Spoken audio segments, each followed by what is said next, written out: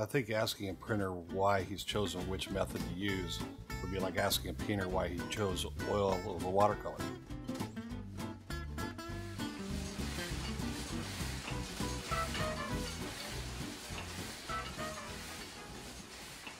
When it comes to letterpress, I get giddy and excited. I love that I know there's going to be a printed piece at the end that my client can touch and feel. Um, graphic designers are challenged with um, a lot now digitally. And it's not something that we can pick inks for and pick paper and touch and feel things. So when I get to sit with a client and show them paper books and PMS colors, it's that's awesome because I know that something great's going to come off that press. We try and always use the techniques that bring us the most fulfillment and most gratification. And letterpress doesn't look like anything else. It's just it's amazing. And when you do things that people get their hands on and they're like, wow, how did you do that? And then they come in and see that you did it on a machine built in 1932. It just blows their mind. And, and every day we, we blow people's minds.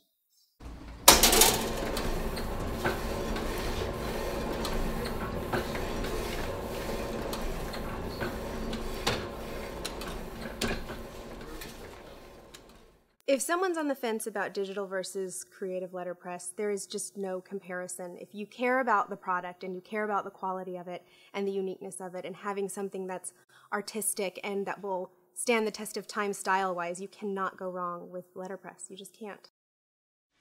Well, yes, I think the the 3D fact that you get with the letterpress, it's not just ink on the paper.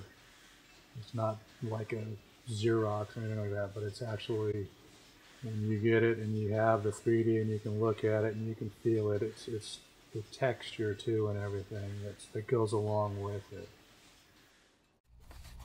220, so they have fluorescent white in the 220. I like the or the pearl white.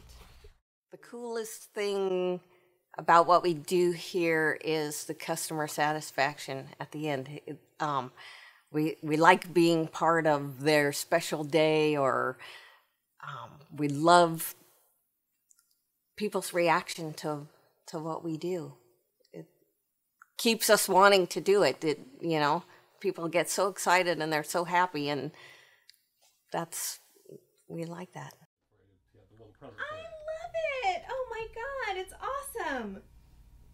Thank you so much. the invitations were my favorite part. I mean, look at them the reception from all of our guests, all of our family and friends was just amazement. They thought they were the most beautiful, unique, well made, um, crafted pieces of invitation art. It really was like art. Okay. Uh, every job is important, whether it's a small job, you know, or a really large job. Um, we want the customers to be happy and be pleased with the product that they get. All lights out. As soon as she hits the door, lights out.